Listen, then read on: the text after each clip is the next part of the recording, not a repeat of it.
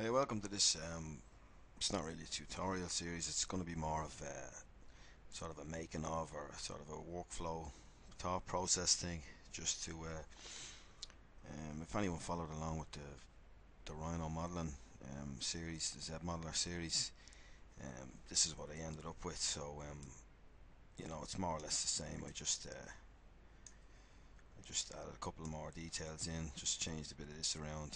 Uh, added a few more bits and pieces. Um, it's more or less the same as it was from the end, but just a little bit of tweaking here and there. So basically, what I wanted to do when I finished this, I was going to just um, render a couple of passes in Keyshot and, and do a paint over in Photoshop. But then I thought it'd be nice to put them in uh, some sort of environment um, and in the kind of Warhammer tradition. Um, dioramas are fairly uh, fairly popular, so I thought I might put it into a diorama. So I found this um, I found this diorama here that I thought would be a great environment to um, to put them in, and also be a good, uh, you know, it'll be a sort of a mixture of hard surface stuff stuff here, a bit of sculpting here, and um, you know, it'll be a very interesting kind of environment piece to create. Uh, I haven't really done any environment um, sculpting at all really or creation so thought it might be a good uh, project for me to take on myself and um, I just I might as well record uh, record the process. So we've all sorts of interesting things going on here. Um, we have this uh, liquid here pouring out of an old sewage pipe and you know I, I was thinking of um, using uh, Phoenix FD plugin in 3D Max to create um, create this liquid here as a mesh and then I can uh, import it into ZBrush and uh, you know, bring it into the scene, and then over in Keyshot we'll be able to uh, render that out with a, um, a liquid shader. Um, so I thought this this was a really nice uh, diorama to to use uh, for this uh, project. So um, basically, what I'm going to do here is um, I'm going to just take uh, I'm just going to take the body of the tank to use as um, I'm just going to copy it and uh, I'll just paste it in here and delete that. So now I'll just um, going to take this into 3D Max as a kind of a scale reference. So um, the scale between Max and ZBrush as I've mentioned before is a bit ropey but it goes easy so um, after a lot of experimenting and messing around and a lot of people seem to have this trouble I came up with it well I didn't come up with it it's already in ZBrush but it, it kind of just figured it out by by messing around so much that I just kind of stumbled upon it.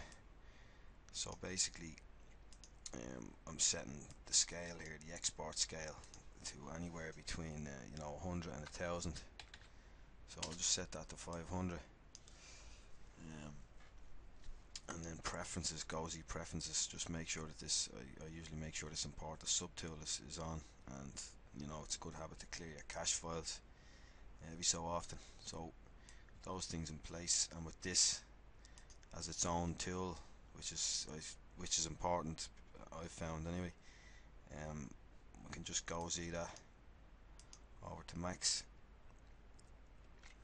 And because um, because I set the scale up um, I've multi 500 multiplier um, if I just come over to the tape here and measure it um, you can see there that it's uh, it's two meters tall which is perfect whereas if I had just brought this in at the default it would have been so small that um, Max would have had awful trouble working at that tiny scale. Um, so with that in place um, you can see here this plane here when I originally exported the tank here just with the, the default scale I, I, had to scale the tank down. And this is just this diorama um, I'll just uh, I'll just zoom in on that. This is just a, plane uh, you know 2D plane uh, bit of geometry with this um, diorama. I'm just going to use it as a very rough reference to um, to lay out these paving slabs. So this was actually uh, the size so I scaled the tank down relative to this and you can only imagine that how small it was. So um, I'm just going to hide this and I'll just take the plane and go from a top view and then I can I can scale that back up again. It's going to be scaling it up huge. Well not huge, be scaling it up to the normal kind of size and just unhide and you can see the tanks underneath so I'll, just bring it down below. And then back to a top view and nearly there. I'll just uh, I'll scale it up a bit more. And this is you know this is um, just to get a rough scale it's it's it's not the be all and end all like so that's the reason I just brought this tank in so that we have our scale from ZBrush and um, create these paving slabs to the right size so we don't have to have any problems then we go back into ZBrush um, so it's just a good uh, it's, it's a good way to go about setting it up before instead of going on ahead and then realizing later on that your scale's all over the place. It'll throw you off so I might just maybe come down a bit more. And then if I just kind of roughly uh, put this tank sort of uh, roughly into place in screen space here kind of you know you can get an idea based on the size of these blocks here. Um, what size it needs to be so um, you know I'll go with that. So I can just start creating um, creating those paving slabs.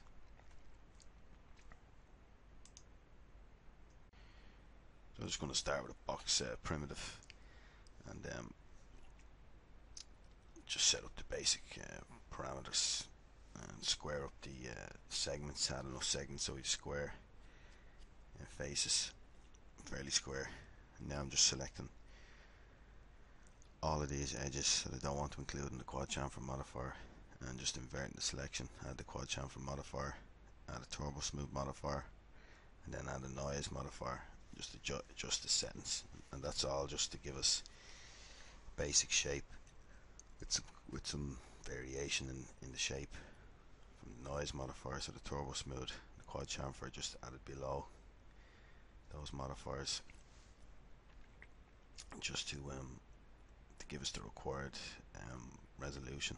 And the quad chamfer modifiers um, so we'll have kind of nice rounded edges when we bring it over to ZBrush start sculpting with the trim dynamic brush. So this is all just a matter of adjusting settings and getting the first one looking the way I want. And then just shift drag clone it out. And just enter our amount so this is all just roughly based on that drawing behind it. Just very loosely based.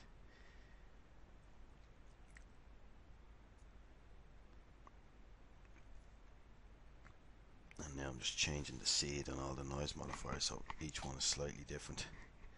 That's just a random seed so I'll change the way the noise parameters are applied. So they'll all be different. And just uh, shift dragging again offsetting them selecting all them offset uh, shift dragging offsetting again. And just to um, alternate the rows of paving slabs. And now just add and delete ones here and there to give us um, the required pattern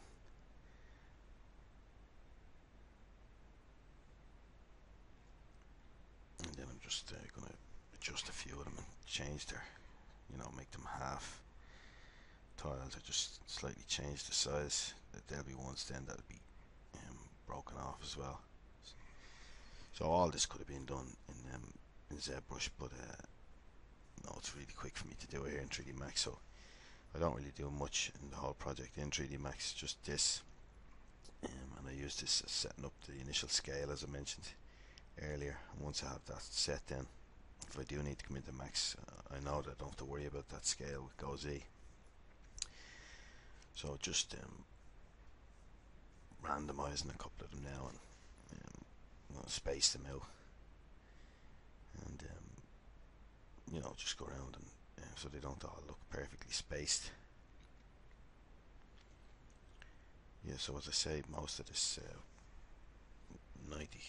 95% of it's going to be done in ZBrush so with all these uh, paving slabs in place here and you know I've just randomized them all just uh, grab different selections, moved them up, moved them down, left and right, rotated them, either either, scales them down um, that are placeholders like for, we're going to bring these across the ZBrush now and, and um, use the slice curve brush. I'm going to slice parts off, split them apart, um, and have them as all broken kind of sections, where they've you know where they've crumbled away, sort of as the ground has subsided and they've uh, they've they've just cracked in the middle or whatever, where where they've tumbled over the edge or got close to the edge, and the likes of the tank here that'll be driving over things like that, because it's a battlefield like so.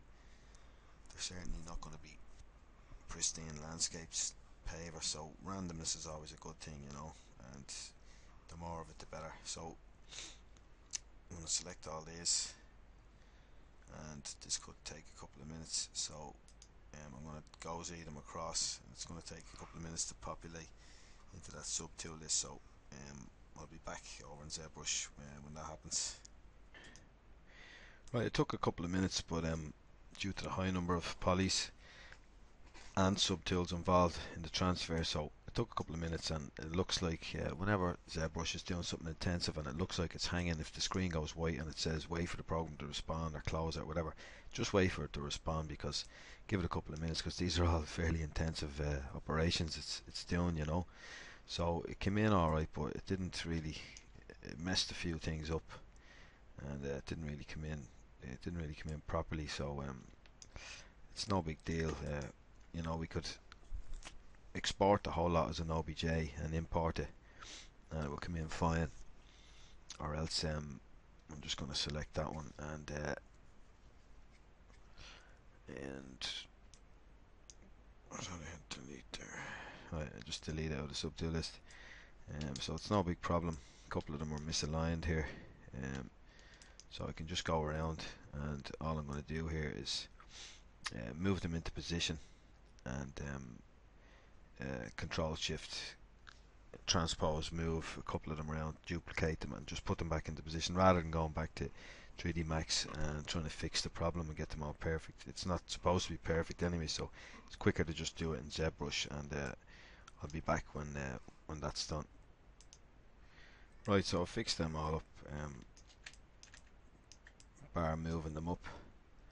So all I'm going to do for that is you know just drag them up into position alt click each subtool. I could have just left the transpose line there. Alt click the next one. And just mask that part. And that's uh, that's them all lined up again. So that's all I did there was uh, and the, these ones are part of the same subtool now because I just uh, cloned them from them.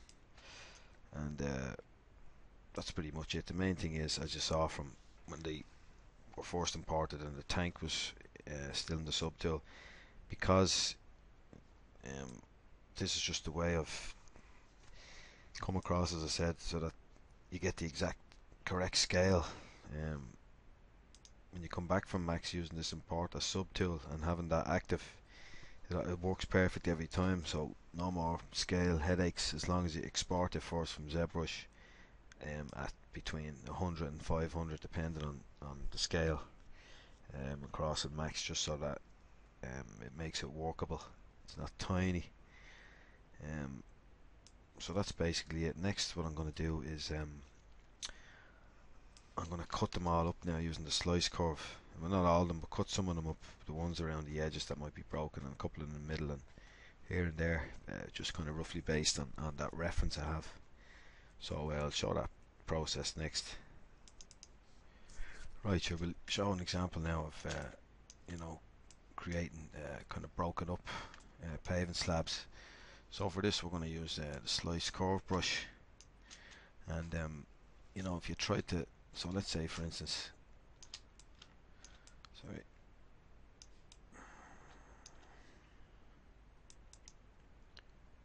right so next I'm going to show um, setting up, uh, you know, creating these cracked pavers. So for this we're going to use the slice curve brush. And um, you know as an example if you try to just uh, slice this up we'll say um, you know you say you want to slice it like that. And uh, maybe a piece off here as well. You know you can shift click to isolate that make sure that's the only polygroup uh, visible. And then delete hidden close hold you can see what we get here. Um, you know it's uh, ZBrush is trying to um, bridge this gap and uh, stitch all these verts and edges across the open border. And you know this is fine here because it's just a straight cut and it's easy enough to, for it to work out. But here you know it's not able to work it out because it, it's it's quite a complicated uh, calculation. So if we just uh, undo that so the kind of the way around this is um, uh, we can leave that one as, as flat and then you can cut these up sort of uh, whatever way you like. So I'll just uh, put a cut there and maybe cut there. So what you want to do first is um, is separate these away. So for instance we'd hide those two. Um, delete hidden close holes.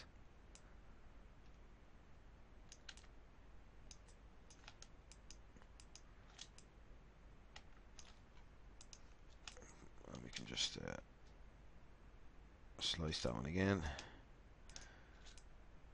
And now we can delete hidden close holes and then uh, delete hidden close holes so that's sort of a way around that. Um, so that's basically that's basically it.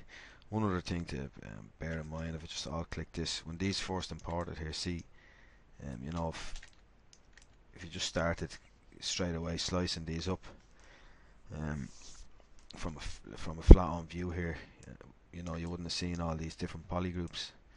So that's going to cause a problem. So you just want to um, auto groups there first just to put them all in the same group.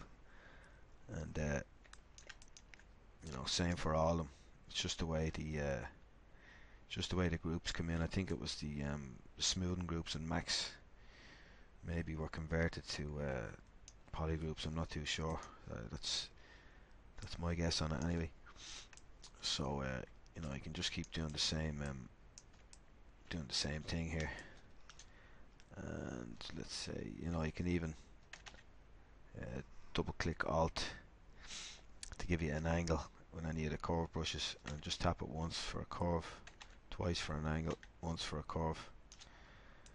You know you could even um, do it like this but if you do it like this it's the same thing. You're gonna have to uh, you're gonna have to break them up into you know think of them as kind of planar um, shapes. Uh, you can get curves uh, you know fairly simple curves as well because it's you know there's no major angle changes there for it to stitch up.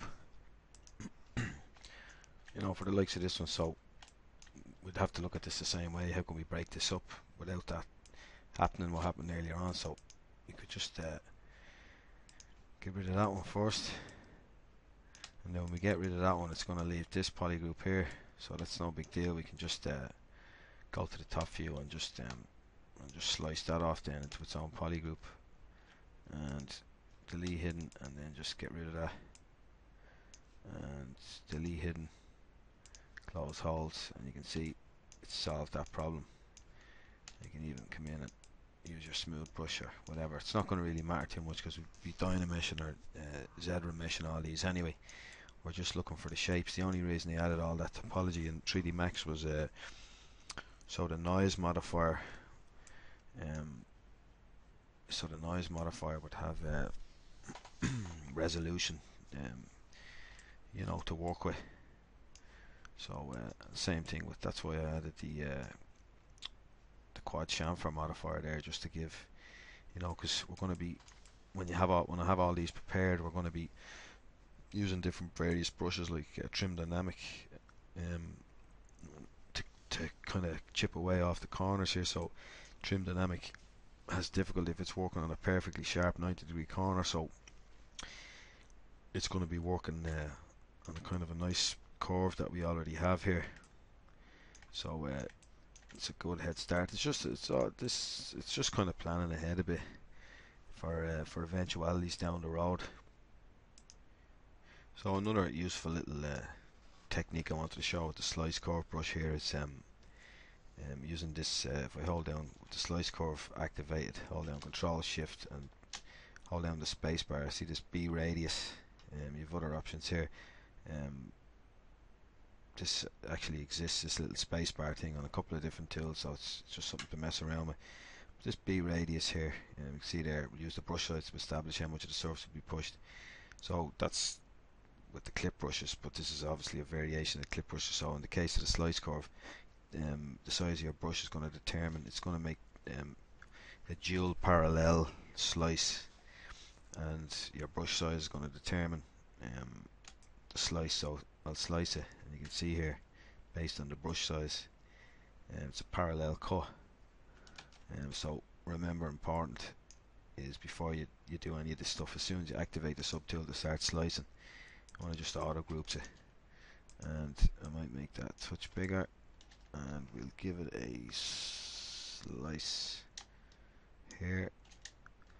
And then I can just control shift click on that and close holes sorry delete first delete hidden first close holes and now you can see it's just a um, quick way of rather than slicing and then having to move these parts away it's just a handy little way to do it.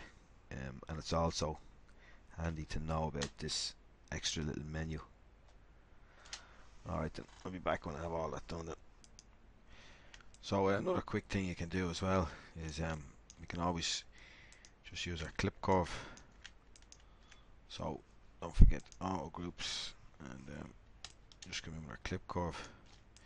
And you know depending on the sort of results you want to get you can break them up and slice them up and close holes or um, rather than the clip curve you're better off using the trim curve.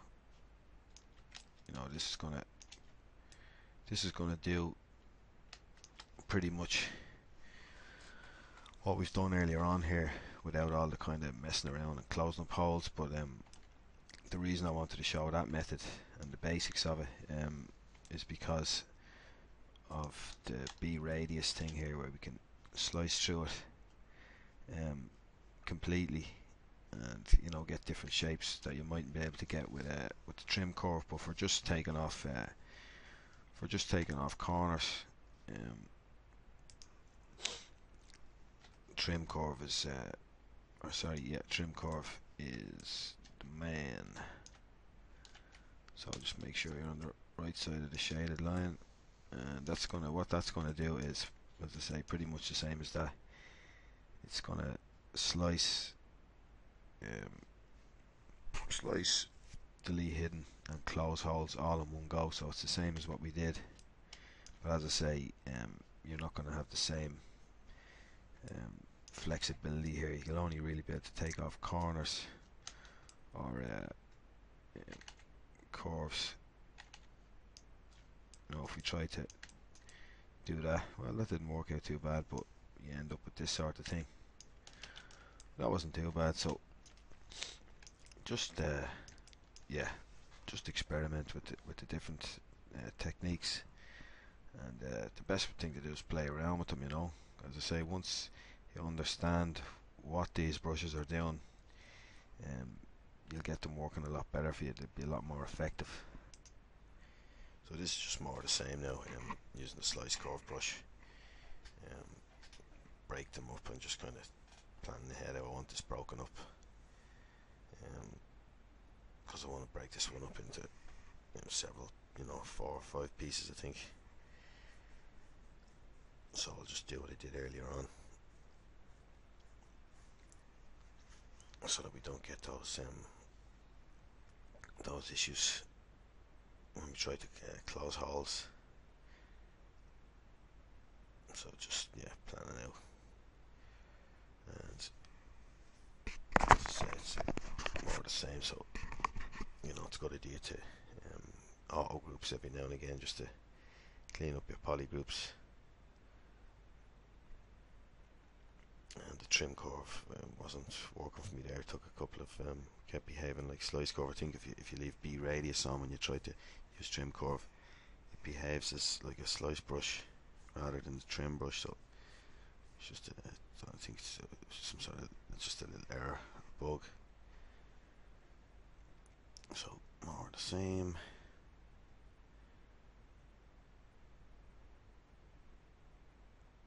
and a bit of a slice curve again. And then just move them around and get them in position.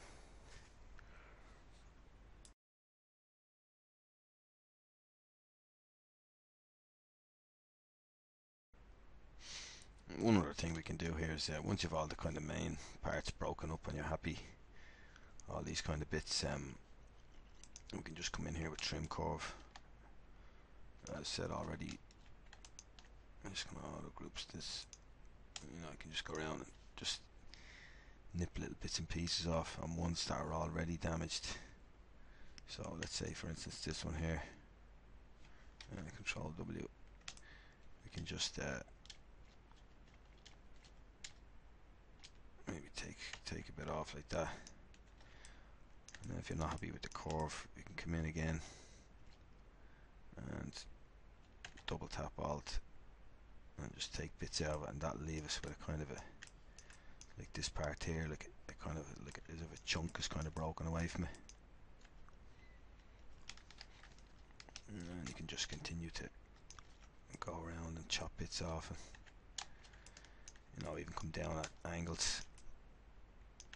You can even turn on uh, perspective and come down at sort of weird angles just to kind of give a bit of a regularity across the cut like that. I'm going to be doing a lot of that sort of work um, with trim brushes um, trim dynamic and I think trim trim smooth or something it's called. So yeah that's basically it like um, this is only the start of uh, damaging kind of process you know. Um, so just do as much or as little and then you can you can just uh, as I say we can come in then and do a lot of sculpting change, turn all these into Dynameshes and uh, do a nice bit of sculpting on them to kind of damage them up that bit more. And maybe take a bit more out of this one. Maybe just a bit off the corner. Yeah so um, you get the idea. I'll leave it at that and uh, in the next part we'll uh, just dynamesh these and you know I'll show some different uh, sculpting. I'm going to do a bit more work on these and show some uh, different sculpting brushes and sculpting processes for damaging uh, stone and rock and, and that sort of stuff. Right I've gone around and um, pretty much just used the clip brush on um, on every single one individually. So that's why I kind of kept them all individual here because uh, you know we can just um, choose one solo it out and then just clip and not have to worry about masking any the other ones off. So I'm just clipping them you know more or less just trying to clip get a bit of clipping going on every chip off the corner of every one of them. Um, I didn't do it in here uh, because I would have to just mask them all and hide them and all the rest of it. So I'm just gonna um, do that with the with the sculpting brushes. So um, what we can do next is um, I'm gonna just we still have uh, you know 39 80 40 subtools so what I'm gonna do is we can just start merging merging them down. So actually get rid of that tank. Didn't think that was still there. Delete. So what we can do is, as I say, merge them down. So you know, you could just merge. Merge down. I have to putting some new buttons out here on the uh, onto my UI. I'm trying to remember where I put them. Definitely put merge on it, didn't I? Right, I found it again. I just have to dragging it in there putting it back in there again so just uh, might as well just quickly show how to do that. Uh, preferences, config, enable customize, and then just um, Alt Control and just drag whatever button and just snap it into your thing there. So that's all I did. So yeah, I'm to just merge down. So I'm to merge some of these together. You know, we can merge them into um, say groups. Maybe uh, so. I'll come down again and merge some of these down. And again. So what I'm doing basically is just merging these so that the whole lot of them aren't into one single subtool which you know the poly count would be huge then um, so I'm just going to merge them into you know let's say we've uh, five of them now so in that one there for instance is 8,000 so um, I'll be able to divide that up a good, a good few times. Now what I'm going to do is uh, rather than use Dynamesh I'm just going to use uh, Z-Remesher um, to uh, retopologize them. And you know these groups where we've done these uh, clips or the trims um, we've automatically have groups created. So if you shift click on any of these um, you can keep them open at the same time when they keep closing down um, by default you can just shift click on them.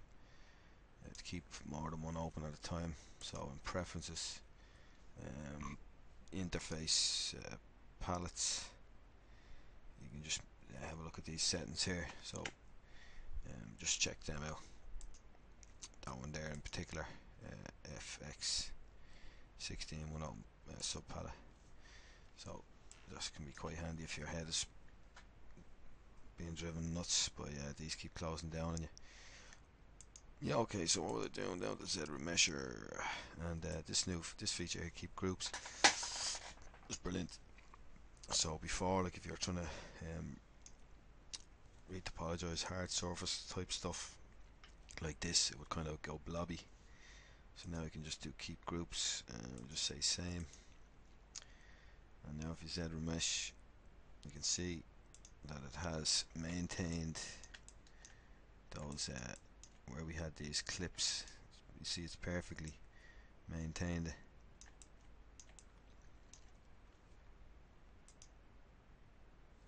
so let's uh, keep groups with Z-Remesher. so I'm just uh, just on did that there and I'd actually like to um, double.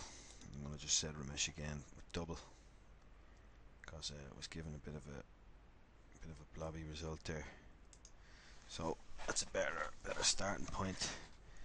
And um, I'm just going to do the same now with all the other subtools so that was the bottom one. And I'll just uh, use these same settings. Where measure double groups.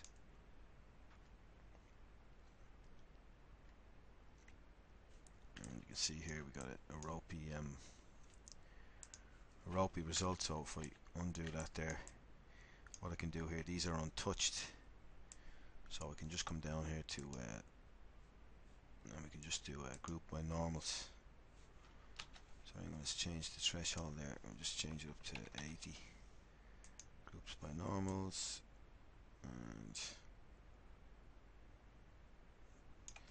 um, in fact I'll just use uh, I'll just use Z modeler. Um, I'll just go to uh, polygroup. Let's zoom in a bit. Polygroup. Uh, polygroup a flat island. And hang on a second just need to go in a bit closer. And this is just a sort of uh, to help out with the Z remeshing so obviously if I had much better groups um, set up on this get better results. So those groups are okay. And let's change some of these. I'll just see what sort of result we get now from that. And is that all is.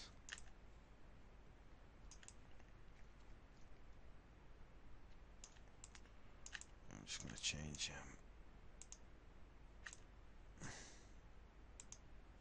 Just change some of these around, not red. And this one. And this guy. Yeah, just if you, you know, see that happening anywhere, you can just add in some extra groups really easily here with ZModeler. And back to geometry, uh, measure keep groups, uh, double.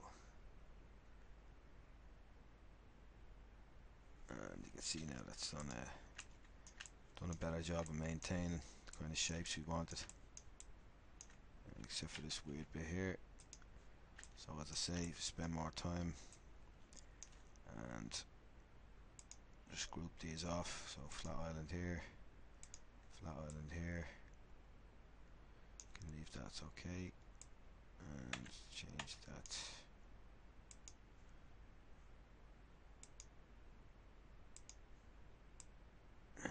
change this again. Don't, mind about those, I can add in those extra edge loops. Not gonna matter because we're Z remeshing now. Do once more.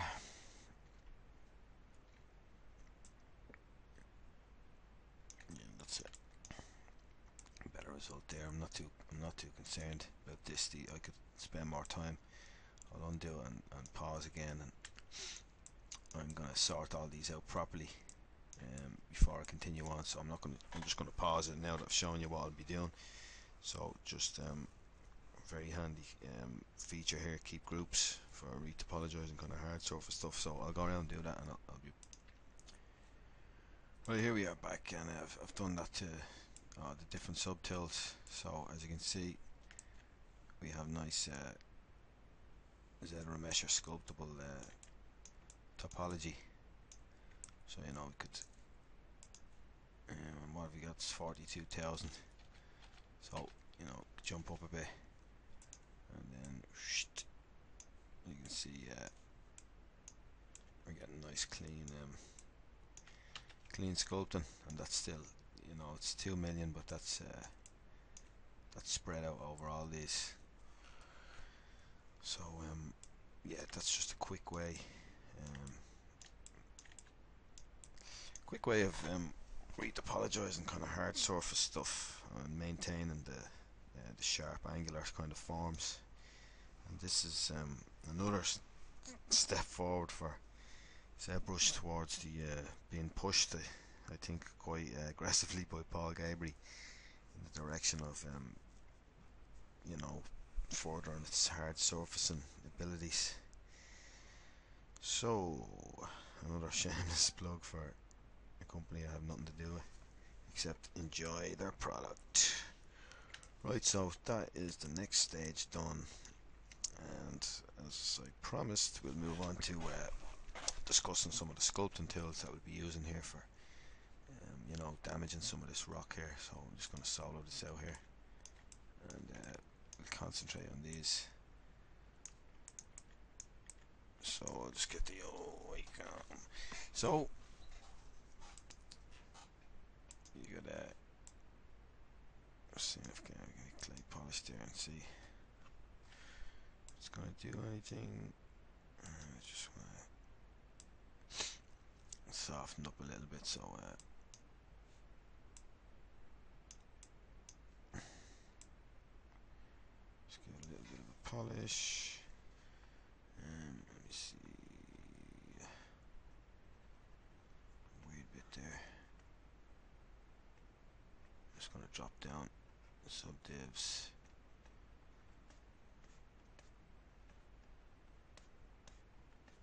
and give that a bit of a schmood.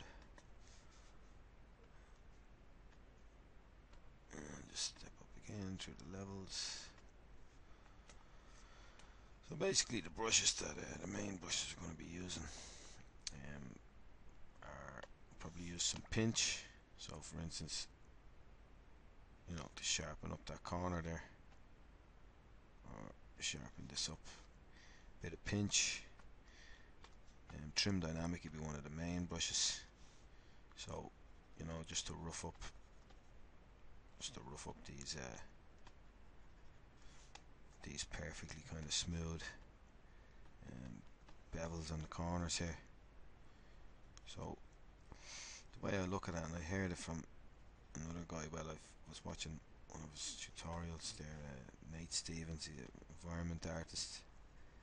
And he just mentioned that you know the way he thinks about it is um, trim dynamic for you know sculpting rock surfaces around. Trim dynamics good for um, for simulating kind of erosion natural sort of uh, erosion from wind and rain and, and, that sort of thing. And then um, clay tubes or the clay brushes are good for you know kind of damage uh, chipped away. Kind of damage. So I suppose it's it's it's actually it's a good way it's a good way of looking at it you know? Um, so they're the, they're kind of ma main two brushes for uh, for that sort of stuff. And then we can also this high polish brush uh, you come in here and sharpen some of these things back up and uh, trim dynamic in the corner and another thing I find um, the the high polish brush or the hard polish brush um, quite useful for is uh, if you're quite aggressive with it on a flat surface let me just get to a good angle and turn it down a bit. You can kind of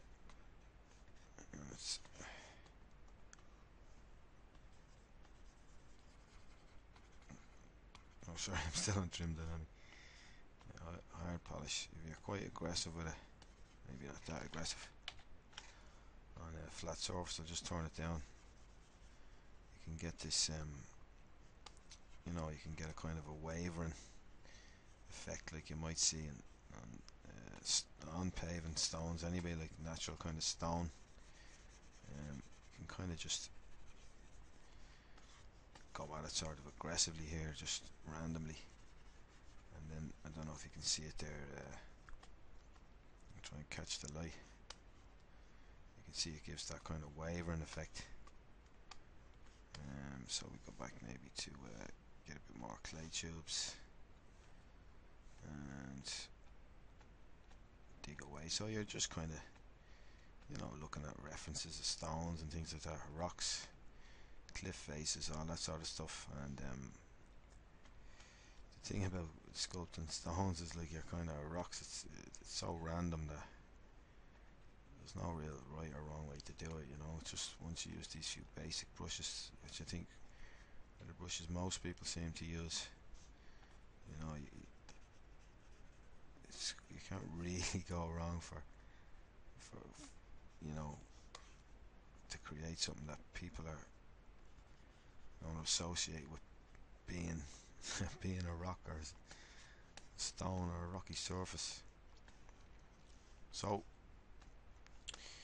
yeah they are the main brushes another um let's say there you can just get the where that's gone a bit kind of smooth you can just come in with your hard polish and run that up to the edge either side just to kind of um, get that sharp again and then just give it a bit of, bit of trim dynamic. Run that back over that just to get rid of that um, kind of perfect sort of line created by the hard polish. So you know just vary the size of your brush and all the rest of it. I'm just going to get rid of some of this. And uh, another another technique you can use is um, you know you can just uh, let's see if I've got a fresh bit to work on. I'm still trying to get used to this. I'm trying to transition over to the right click uh, navigation which is so much better but I've been using the, the traditional well right click's been in it for years but um, I always found it a bit awkward with the Wacom to put my finger on the on the right click but I definitely have to keep practicing and transition over over to it because it's a much much better navigation system.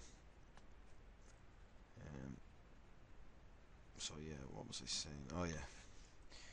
So say for instance you know you can just uh, mask mask a section off.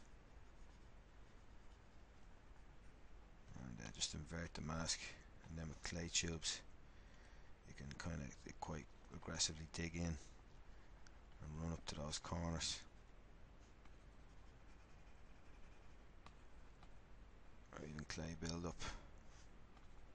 Clay build up will dig in a lot more um, aggressively. Maybe a bit too aggressively in this case, but uh, I'll just undo some of that and um, just go a bit easier with the with the clay build up. I can see here this effect it gives as we get to the edges because of the mask. It's um to take that bit off the mask. You know, because of the mask we're getting that kind of nice kind of stepping. So I clear the mask. You know, it looks like it's kind of a layer. It's there's a bit of a layer, kind of a shell type layer around it here. And then you could come in and sort of just um, mimic kind of with the dam standard. You have to go much smaller and you know more kind of layers inside there or whatever. This is just sort of and then um, use the pinch as well as we were using earlier. You know, it's another uh, method instead of um, using the the hard polish but yeah I like using them as I say I like using the hard polish um, on, uh, flat surfaces. Just get to change that back. So you know bit of heavy handed kind of random scribbling. Get that nice uh, eroded kind of look to it. Trim dynamic. And so that's kind of the basic all the basic brushes. Um, let me carry away here yeah that's just sort of the basic brushes that you can use you can see how effective and, and quite simply or how simple it can be to to start to um, mimic those kind of rock-like uh, features, stone-like features.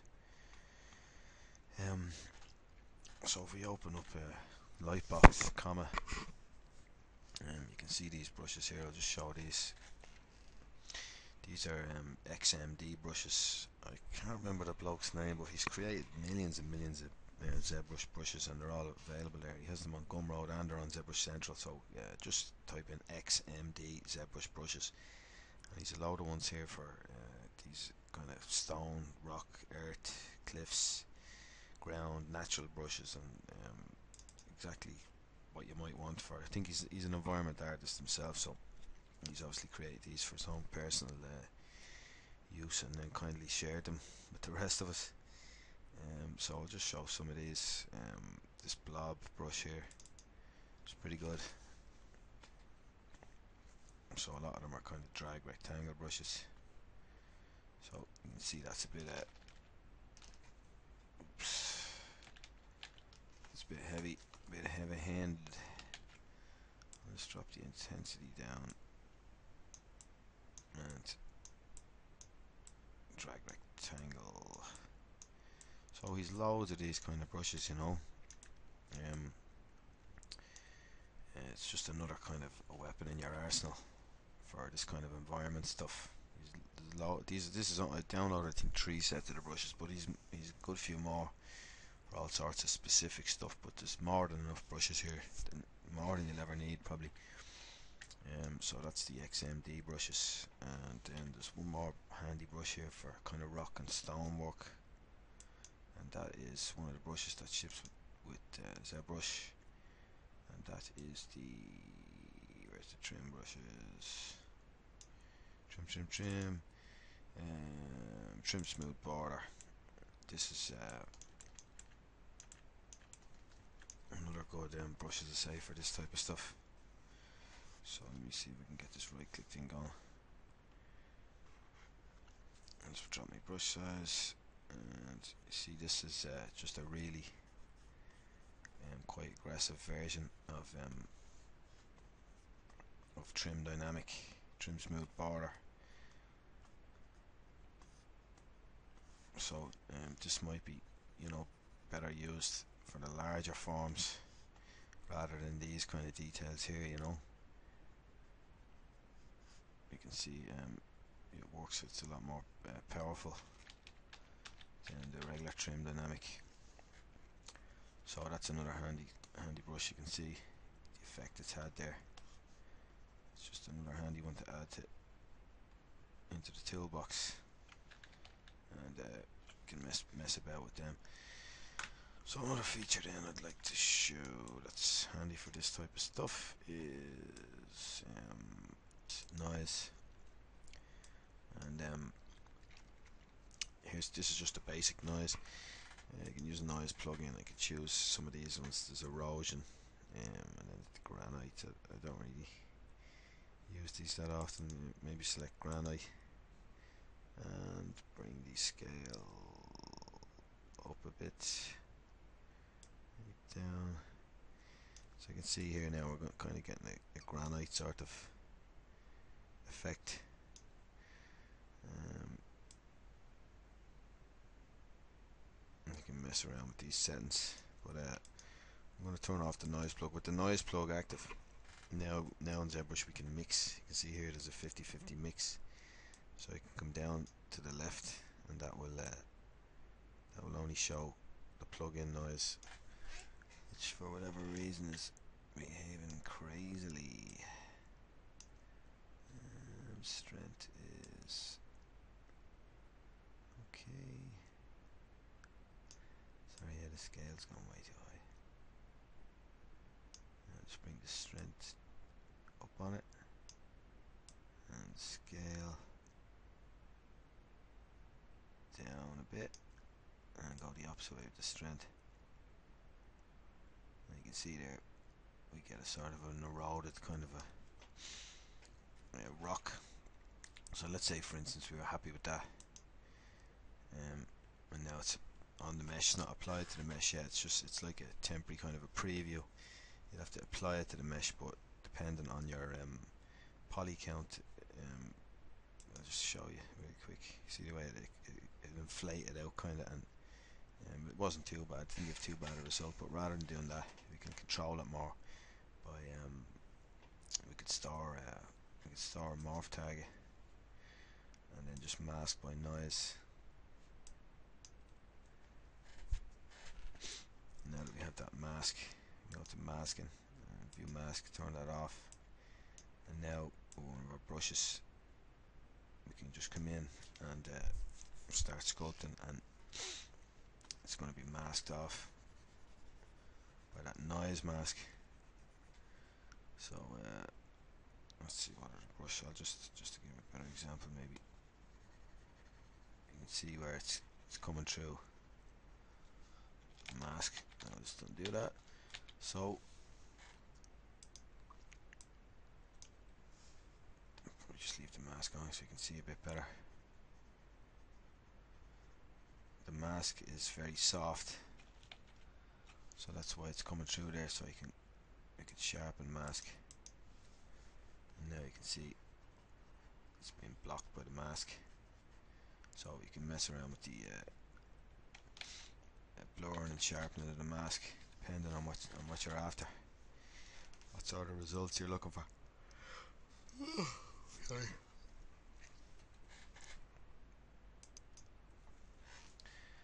And also, um, with our morph target stored here, we can just sculpt and then BM and uh, select our morph brush. And then we can just get rid of that detail again. So it's like just using a mask in Photoshop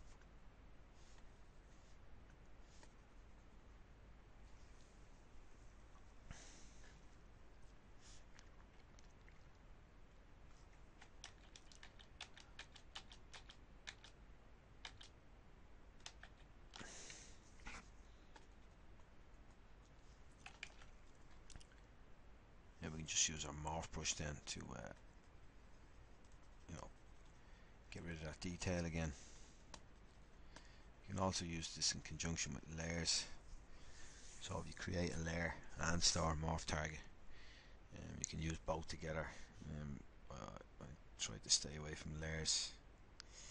I use them the odd time, but uh, they're a bit annoying. They're kind of buggy. Um, they seem to affect other things, um, upset other things. So I just uh, generally just stay away from them and um, save out different versions of my tool or use morph targets.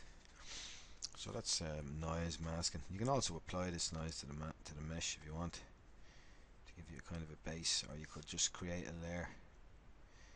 Um, apply your noise and then you can play with the opacity of the layer and then when you're happy just bake the layer down and continue on um, it gives you a bit, bit of bit of non-destructiveness so uh, that is kind of pretty much it for for the basics of uh, you know sculpting rocks um, stones and things like that uh, basic brushes so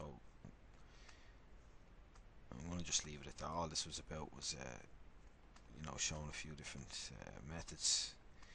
There's not a huge amount for the likes of these. They're just paving slabs, you know. There's not going to be a huge amount of detail in them.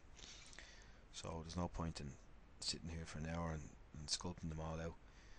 So what I'm going to do is just uh, I'll pause it here and, and uh, when I come back I'll just have these all sort of uh, sculpted out. So here's uh, the finished uh, of the paving slabs. Um, I just was just basically using. I didn't go crazy on the detail or Basically, I was just using uh, mostly uh, the brushes I showed earlier on.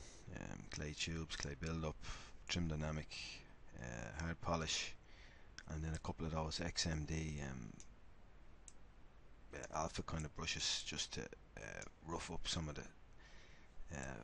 the edges here where um, where they where they've been broken off, just bits chips here and there, and a bit of weathering and erosion and, and that sort of thing, and uh, worn away edges. So basically, I just worked on them each as a sub tool, divided them up to um, you know two and a half million or something each, and then I could just work on them all individually. And then when I was finished them all, I was soloing them out as I was sculpting, and then I was finished them all. They're all pretty much at the same sub div level, level four. So I just merged them all, saved it out first, um, and then merged them all down into one um, single subtool and save that out again just so I have a copy of both. So if we turn on polyframe we can see uh, um, we can auto groups this and uh, into our move tool then you know and we can just uh, control click and just uh, go around and you know move some of them move some of them up and down control click everything else gets masked. And then we can just add a bit more variation by moving them up and down but I'm, I'm, I'm to leave it uh, leave the moving up and down till later on because the next part now this is going to be the end of this part this video. Um, the next part I'm to create uh, this part underneath it here. So I'm going to go back to max and just rough out this shape using the spline then bring it into ZBrush and uh, Dynamesh or Z-Remesh it and start sculpting that so that'll be uh, the next part of the video. Um, so as I say once that's done um, and in place then I can uh, I, I can further go in and move these pavers up and down depending on the uh, the landscape kind of below them. So uh, that's it for the first part and um, yeah I'll, I'll leave it at that. Alright, cheers, thanks, good luck.